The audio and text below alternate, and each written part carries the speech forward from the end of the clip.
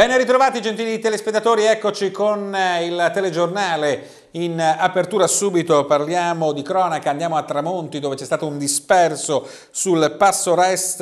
Le ricerche nella notte non hanno permesso di trovare quest'uomo. Sentiamo il servizio di apertura del telegiornale. Un escursionista di 76 anni, Nicolino Dell'Angelo di Fagagna, è disperso dal pomeriggio di ieri sulle montagne della Val Tramontina.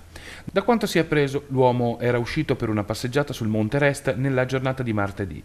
Quando era calato il buio, aveva trovato riparo in una casera e aveva avvisato i familiari tramite cellulare che avrebbe dormito lì, dando loro appuntamento alla mattinata di ieri a Preone. Ma all'appuntamento non si è mai presentato.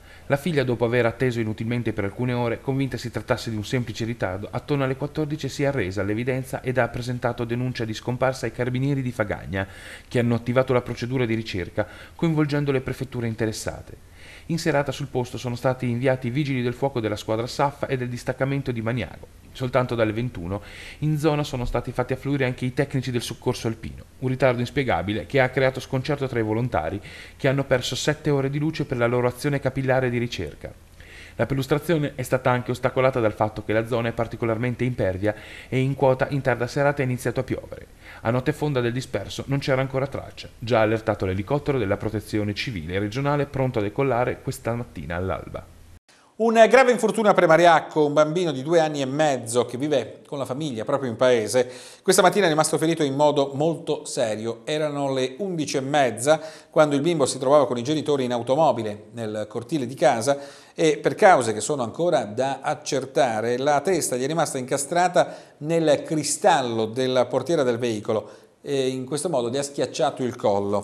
Per questo il bimbo è rimasto senza ossigeno e ha perso i sensi. È stato subito soccorso dall'equipe medica dell'elicottero del 118 e quindi rianimato e trasferito d'urgenza all'ospedale di Udine dove ha ricevuto tutte le cure del caso, le sue condizioni sono gravi. Sul posto sono poi intervenuti i carabinieri della compagnia di Cividale del Friuli per fare piena chiarezza sul terribile incidente. Torniamo a parlare dell'omicidio Ragone Costanza a Pordenone, è stata scartata la pista della passionalità. Sono trascorsi quasi sei mesi da quella sera del 17 marzo quando Teresa Costanza di 30 anni e Trifone Aragone di 28 furono uccisi a colpi di pistola davanti al palazzetto dello sport di Pordenone. L'assassino non ha ancora un nome, nel frattempo però gli inquirenti hanno scartato le piste ritenute più improbabili, come quella passionale. Nessun corteggiatore respinto, nessun amante geloso dietro al brutale assassino dei due giovani fidanzati c'è dell'altro. Ma cosa rimane un mistero? Il mondo delle palestre, quello dei militari, quello della vita notturna. La chiave del giallo magari non è il movente, magari scopriremo che sono stati uccisi per una sciocchezza. A parlare ieri mattina è stato il procuratore della Repubblica del Tribunale di Pordenone Marco Martani. Ha fatto il punto sulle indagini dopo aver incontrato il capitano Pierluigi Grosseto, comandante del nucleo investigativo provinciale dei Carabinieri e di luogotenente Gianfranco Tomatis. Indagini che di giorno in giorno stringono il cerchio puntando maggiormente su alcune piste ed escludendone altre. Più che di piste parlerei di ambienti, afferma il capo della procura pordenonese, alcuni dei quali si intrecciano tra loro ed è difficile districarli. Indagati non ce ne sono, ma le ricerche proseguono anche fuori dalla provincia, mentre in caserma si continuano ad ascoltare persone che potrebbero essere utili all'inchiesta. Il procuratore si sofferma poi sull'arma del delitto, una vecchia semiautomatica 7.65, non più in commercio da decenni, che poteva incepparsi. Il che significa che dietro all'omicidio del caporal maggiore del 132 reggimento Carri e della fidanzata non ci sarebbe alcuna organizzazione criminale. L'assassino voleva uccidere, si è appostato e li ha aspettati. È arrivato da dietro senza dare loro il tempo di capire cosa stava accadendo. Ha puntato la pistola ed ha esploso sei colpi, uno dietro l'altro. Prima Trifone, poi Teresa, senza esitare. Li ha uccisi freddamente e brutalmente nell'auto parcheggiata vicino alla palestra che entrambi frequentavano. Un mondo, quello della palestra, sul quale gli investigatori continuano a puntare la loro attenzione. E non sembra essere scartato nemmeno il mondo sul quale gravitava Trifone, quello dei militari. Martani parla anche dello staff della criminologa Roberta Bruzzone, alla quale si è rivolta la famiglia di Trifone. Lavoriamo tutti con lo stesso obiettivo, conclude il procuratore della Repubblica di Pordenone. Se ci sono rapporti, ben vengano. Quando rientreranno i due sostituti che conducono le indagini, Pierumberto Vallerini e Matteo Campagnaro, ci sarà probabilmente un briefing. Un incontro che attendono i genitori di Trifone, Francesco ed Eleonora, la mamma del giovane e bello caporal maggiore che ogni giorno si reca in cimitero per salutare il figlio che non c'è più. Andiamo sempre a trovarlo, conferma al telefono il Papa Francesco. Sappiamo che al rientro dalle ferie incontreremo i due giudici che si occupano dell'inchiesta. Altro non sappiamo perché siamo fermi ad agosto, ma contiamo di salire presto. E a Sicilia c'è stato uno scontro, ne abbiamo parlato anche ieri, tra un'auto e un tir. Sentiamo come sono le condizioni del pensionato rimasto coinvolto. Pensionato in gravi condizioni dopo un frontale avvenuto ieri poco dopo mezzogiorno. È accaduto sulla bretella autostradale che collega la A28 alla Pontebana ed ha visto coinvolte una Nissan Qashqai ed un camion Mercedes. La dinamica è ancora al vaglio della polstrada. Sembra che la Nissan, condotta da Luciano Bazza di 69 anni, un operaio in pensione di Cordignano, sposato, due figli, che percorreva la bretella in direzione della statale 13, poco dopo lo svinco con l'autostrada, abbia invaso la corsia opposta ed è andata a schiantarsi contro il camion guidato da Andrea Vincenzi, 36 anni, residente a Porto Maggiore in provincia di Ferrara. Uno schianto terribile. Sull'asfalto i segni della frenata del camion e della sterzata eseguita per evitare l'impatto, purtroppo senza fortuna.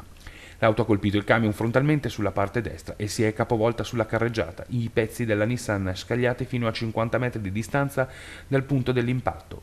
Sulla strada i segni che indicano il conducente del camion abbia cercato di evitare lo schianto, frenando e sterzando verso il centro strada, manovre che però non sono servite a evitare la collisione. Probabilmente Luciano Bozzo non ha tentato di frenare o di rientrare nella sua carreggiata, forse colpito da un malore che gli ha fatto perdere il controllo. Sul posto i soccorsi, chiamati da alcuni automobilisti che hanno assistito alla terribile scena.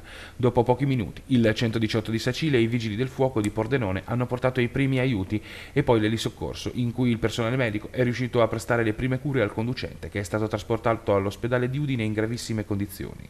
È arrivata anche una pattuglia della Polstrada di Pordenone per i primi accertamenti e successivamente una pattuglia della Polizia Stradale di Spilimbergo che ha eseguito i rilievi del caso. I carabinieri di Sicilia hanno chiuso al traffico il tratto della bretella interessato dall'incidente nelle due direzioni, con deviazione all'altezza della rotatoria di Vistorta, sulle strade minori, mentre il blocco all'uscita di Sicilia Ovest si è risolto dopo poche decine di minuti.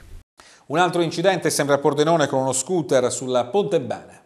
Un 48enne di Cordenons è stato ricoverato ieri sera all'ospedale di Pordenone per i traumi e la frattura riportati nell'incidente occorsogli poco dopo le 19 in Viale Venezia. Qui per causa in corso di accertamento da parte dei vigili urbani di Porcia, all'incrocio tra la Pontebana e Via Volta, il motorino condotto dal giovane si è scontrato con il camion aziendale che stava girando a sinistra verso l'Electrolux. In un primo momento sembrava che il motociclista fosse grave e pertanto si è pensato di dirottare sulla Pontebana di soccorso che stava stava già sorvolando la zona. La polizia aveva fermato il traffico per permettergli le manovre di atterraggio, ma i soccorritori giunti sul posto con l'ambulanza, accertato che la situazione non richiedeva un rianimatore, hanno fermato il velivolo. Il cordenonese, che è rimasto sempre cosciente, ha riportato un trauma cranico commotivo, escoriazioni e la frattura di un braccio. È stato portato all'ospedale di Pordenone, dove è stato ricoverato, ma le sue condizioni al momento non appaiono gravi. Le notti sono freddi e quindi i profughi della destra tagliamento sono, hanno trovato un rifugio in ospedale. Le notti si fanno più fresche e c'è chi va alla ricerca di un po' di tepore anche nei sotterranei dell'ospedale cittadino. A segnalare la presenza di alcune persone, probabilmente profughi, nei corridoi del Santa Maria degli Angeli è una persona che qualche giorno fa è andata in ospedale per accompagnare il figlio al pronto soccorso. Erano circa le 22, ha raccontato l'uomo, e visto che dovevo aspettare per la visita, ho deciso di andare al bar per bere un caffè. Sono così sceso nei sotterranei, ma c'erano cinque o sei persone, alcune sedute con la schiena appoggiata al muro, altre distese per terra. Sembravano profughi stranieri, insomma. Lo ammetto, ho avuto qualche timore ad avventurarmi nei corridoi da solo all'ora tarda ed ho rinunciato al caffè. Mi hanno detto poi che non era la prima volta che qualcuno dormiva lì o nelle sale d'aspetto. Un racconto affatto irreale o inimmaginabile, vista la presenza di profughi alla ricerca di un tetto dove vivere e dormire anche in città. Fabio Sirocco, della direzione sanitaria, non si stupisce più di tanto di queste presenze, anche se dice che nessuno lo ha avvisato di quanto accadrebbe durante la notte nei sotterranei. Forse è stato un caso sporadico, sottolinea, o forse scelgono gli anfratti più nascosti dove nessuno li può vedere. Ma una cosa è certa, Avevo in agenda di tornare a fare in settimana i giri periodici con la polizia per controllare sale di attesa e reparti. Dopo questa segnalazione ci muoveremo subito, anche durante la notte. Posso solo dire che c'è stato qualche caso di persone che dormivano nella sala di attesa, ma si è risolto senza problemi. Intanto continua la processione di profughi nel prefabbricato di Via Piave, costretti a dividersi gli angusti spazi del prefabbricato con una sola toilette, se così si può definire, dove la turca fugge anche da doccia. Oggi ce ne sono 54, conferma Luigina Perosa dell'Associazione Immigrati. La situazione è ogni giorno più difficile perché devono dormire per terra, senza materasso. Non abbiamo coperte a sufficienza e nemmeno vestiti pesanti. Le notti sono sempre più fredde ed i disagi aumentano. Andiamo adesso in provincia di Udine, a Pasian di Prato, per parlare di una brutta avventura di quattro friulani che sono rimasti eh, coinvolti in un atterraggio di emergenza. Ha vissuto momenti sconvolgenti una famiglia friulana in un viaggio con un volo Air India da Varanasi a Nuova Delhi. L'aereo è stato costretto ad un atterraggio di emergenza e si è sviluppato un incendio. È Nico Busolini di Passon di Pasian di Prato a raccontare l'esperienza vissuta insieme alla moglie Susi Marcuzzi e alla figlia diciannovenne rimasta lievemente ferita e al figlio di 11 anni. È accaduto il 7 settembre alle 18.30 ora locale, racconta. Eravamo al termine di una vacanza di 20 giorni e ci stavamo dirigendo a Delhi per la tappa finale. Il volo era in ritardo di due ore. Deve essere successo qualcosa già in quota perché siamo stati dirottati su una pista di emergenza all'aeroporto internazionale Indira Gandhi. A bordo c'erano circa 150 persone, ci si può immaginare la paura durante l'atterraggio da incubo. I passeggeri sono stati condotti in tutta fretta verso gli scivoli di emergenza. Quelli più vicini ai nostri posti erano proprio nei pressi del punto interessato dall'incendio, che ho visto e così ci hanno fatto usare le rampe di testa e di coda, riferisce Busolini. Avvertivamo odore di cherosene. I pompieri roravano con i getti d'acqua all'aereo ed i passeggeri in fase di evacuazione che sono arrivati al suolo fradici. Mia moglie piangeva, mia figlia è caduta sulle ginocchia strappandosi jeans. Io cercavo di rassicurarli in una situazione di disorganizzazione totale. I passeggeri sono stati costretti a fare un giro a piedi per raggiungere l'infermeria. Le valigie sono arrivate dopo ore, mentre gli effetti personali abbandonati sull'aereo nella fuga sono andati perduti. C'erano difficoltà di collegamento nell'immediato e quando finalmente un amico che avevo raggiunto si è messo in contatto con l'unità di crisi di Roma non erano informati. L'indomani ho potuto parlare con l'ambasciata italiana, ma anche in questo caso non sapevano nulla. Ci hanno fatto gli auguri di buon rientro e di pronta guarigione. Abbiamo anticipato il più possibile la partenza. Ora vorremmo quantomeno sapere che cosa è successo e quanto abbiamo rischiato, dichiara il turista friulano. Nei telegiornali indiani è stata data notizia dell'accaduto. Secondo alcune fonti si sarebbe verificato un guasto idraulico, ma dopo l'atterraggio di emergenza sarebbero stati segnalati fumo e fuoco sotto il veicolo, forse provenienti dalla ruota anteriore spingendo il pilota a ordinare l'evacuazione. In questa fase alcuni sarebbero rimasti contusi, ma la compagnia aerea ha negato che vi siano stati feriti. Questa mattina uno schianto invece a Carlino nella bassa friulana, è rimasto coinvolto anche un uomo che è finito in ospedale. Schianto all'incrocio tra la provinciale Maranese e via Toppo Wasserman in comune di Carlino tra una Peugeot e una Volkswagen Scirocco. Gli occupanti non hanno riportato fortunatamente gravi traumi. Incerta invece la dinamica dello schianto. Secondo quanto verificato da una prima ricostruzione, erano le 7.45 di questa mattina, quando c'è stata la collisione tra una Peugeot proveniente da via Toppo Wasserman e la Scirocco proveniente da Carlino. Le due auto, dopo aver carambolato sulla strada e scavalcato il fossato, hanno concluso la loro pazza corsa nel giardino di una casa vicina. La Peugeot ha centrato lateralmente un albero e l'occupante è rimasto incastrato nell'abitacolo. L'immediato intervento dei vigili del fuoco di Cervignano lo ha prontamente liberato, permettendo così ai sanitari del 118 di prestargli soccorso. È stato così trasportato in elicottero all'ospedale di Udine. Fortunatamente le sue condizioni non sarebbero gravi. Gli occupanti invece della Volkswagen sarebbero rimaste praticamente inglese. Sul posto, per i rilievi del caso, una pattuglia dei carabinieri di Latisana che hanno così provveduto a smistare il traffico che a quell'ora era particolarmente intenso. Ci fermiamo qui, non resta altro che ringraziarvi per averci scelti, vi auguro una buona serata con i programmi della nostra rete. Rimanete con noi.